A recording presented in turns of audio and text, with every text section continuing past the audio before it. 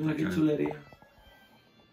Ya, tienen, ya ustedes conocen el... Aquí, ahí, enfocar un poco.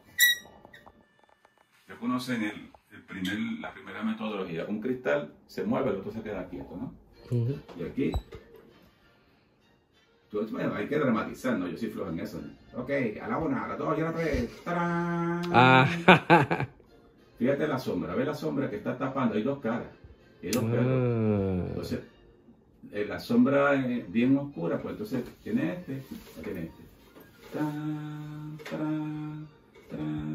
Yo compré este particularmente porque me encanta la, la iconografía, el, Sí, el los vestido, colores, los colores, está precioso. Y esto, como tú dices, me imagino, ellos pondrían una musiquita como tú tienes ahí ahora. Claro, y la persona iba narrando. Déjame haciendo- decir, Hoy día existen, está el Magic Lantern Society de Canadá, hay una en Inglaterra, una en Estados Unidos, hay gente especialista en esto que tienen teatros y todos los años en 3, 4, 5 exposiciones y son shows completos que duran horas con música, piano en vivo, lo que sea, y dan historia, porque hay set, por ejemplo, hay set completo de la historia de Blancanieves, set completo de La De la Cenicienta, Cenicienta, de tantas cosas, eh, historias bíblicas, de todo un poco, más los efectos especiales como esto, ¿no? Y hacen, hacen un show completo, ¿no? Brutal.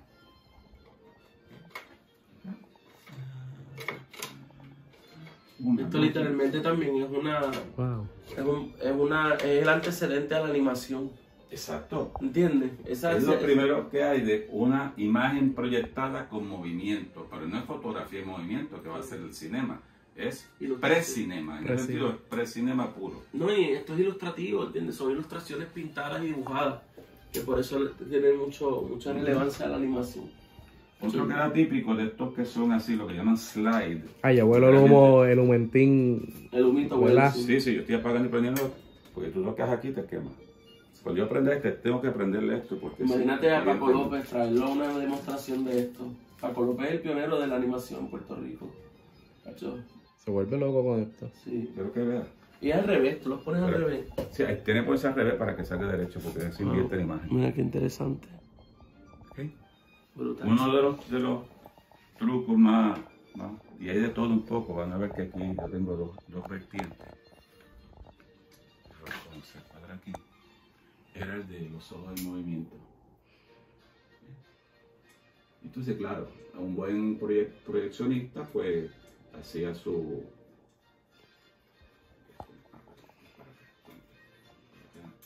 Proyeccionista, pues hacía sus efectos con la voz y hacía, asustaba a los niños. Ok. ¿Quién se está riendo de mí? Ah, ¿Quién se está riendo? Estoy- no, eres tú, eres tú. Mm, Óyate, óyate otro. Mm. Yo sé que la gente le tiene pavor creativo. le tiene pavor a los, a los payasos Ya por alguna razón y este payaso es medio maléfico. Mm.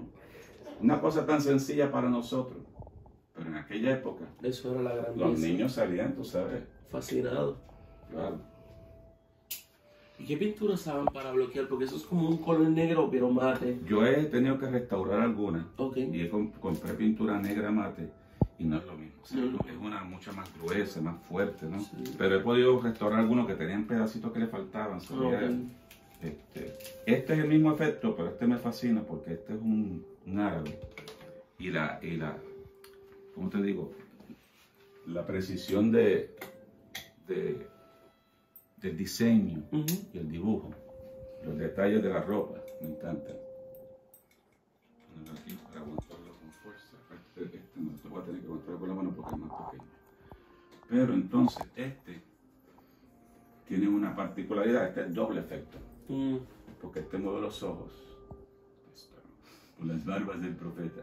Pero entonces, al mismo tiempo te habla. ¿Quién se Oh, está wow. burlando de mí?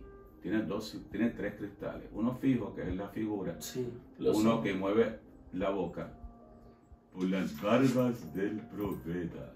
¿eh? Y el otro, que es el que mira los ojos. Estoy velando, estoy velando. Entonces aquí, como no puedo, deja ver si... Porque este no, este no lo llevo allá. Tengo que, tengo que buscar una forma de, de mover los dos. ¿eh? Pero entonces básicamente estoy buscando al que se está burlando de mí. Porque Y así me imagino que sean chistes y el, la voz del personaje. Claro, con la música, etcétera, etcétera. Sí. Brutal.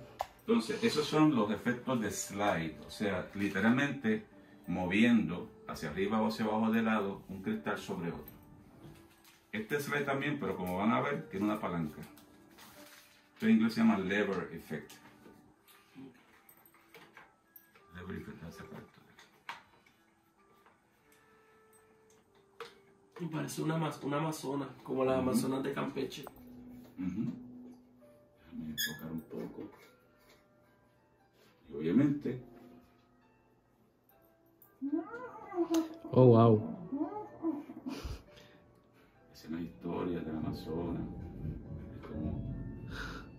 Es un cristal redondo, completamente redondo, con una palanca en brazo. Y es el que se rota y lo demás queda el trasfondo y el caballo queda, queda fijo. Eso es lo que se llama lever. Lever, lever effect. Un segundo ejemplo de un lever effect. Preciosa. Yo lo compré, aparte de que es lever effect, lo compré porque el, arte es bello. La figura de la chica con la mamá en su, en su sección de piano.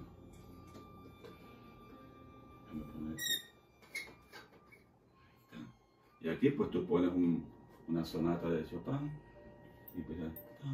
Ah, qué genial.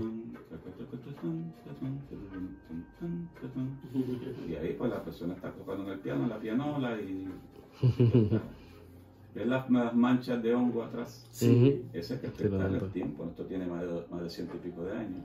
Pero la, el, el arte, ¿no? Eh, Está precioso, está precioso. No, me imagino que en esos tiempos eh, las manchas no estaban. No, no, eso era bello, eso Sí, era bello, sí. eso era perfecto.